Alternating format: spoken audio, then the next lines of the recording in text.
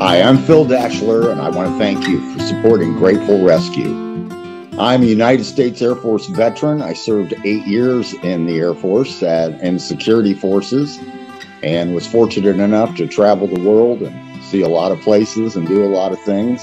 And I still uh, serve our veterans on the Veterans Honor Guard here in Delaware County in Indiana. Uh, we do over 200 veteran funerals a year.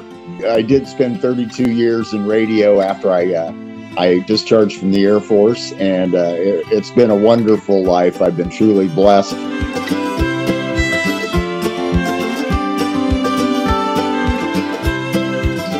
If we can provide some comfort for them with uh, with fur babies and uh, give them some love, someone to show them support, someone to help them physically with their problems.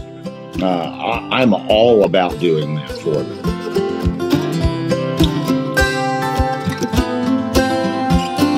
A lot of our active duty folks, uh, they're going to be deployed and they don't know what to do with their pets.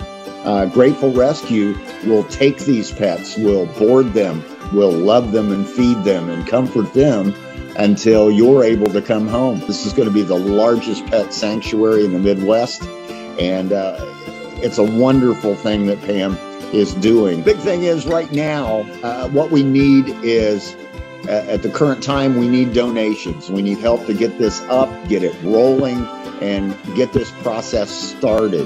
The sooner that we can get the donations in, the sooner that we can build out the facilities, and the sooner we can start helping, uh, you know, the, the, the, vets that I care about and and the animals that we care about and love so much.